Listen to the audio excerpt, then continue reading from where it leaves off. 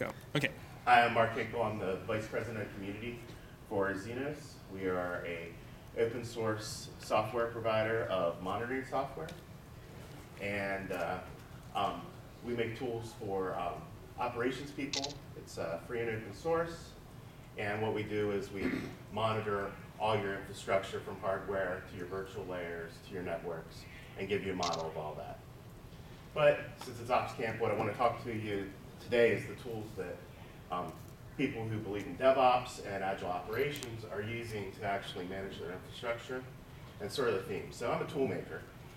I make one tool, I think it's really good. It's like my kids. I think they're beautiful even when they're ugly.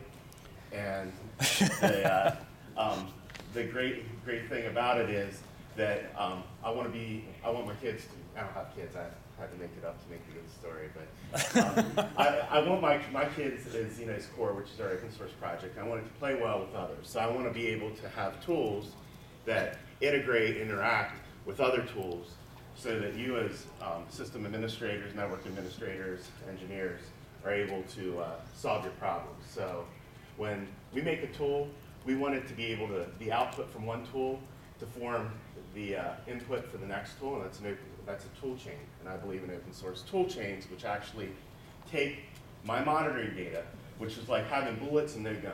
Like monitoring data, I know all about what's going on in your infrastructure. That does not fix your infrastructure, that doesn't make it better.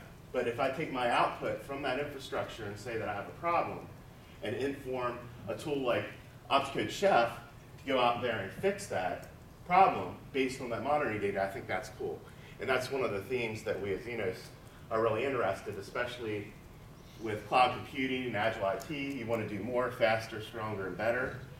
And I don't know about you guys, but I can only type so fast.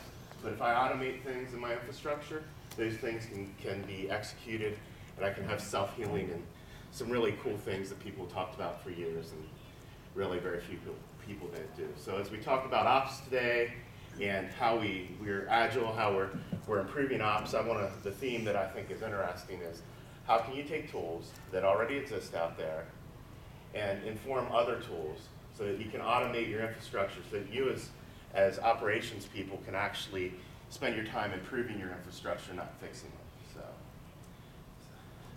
what did I do there?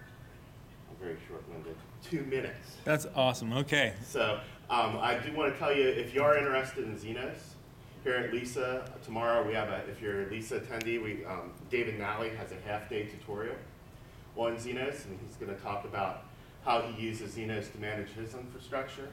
On Friday, we have a full day of training, and we are a company, we have commercial training. We're giving it away for free on Friday here. It's open to any, to the public.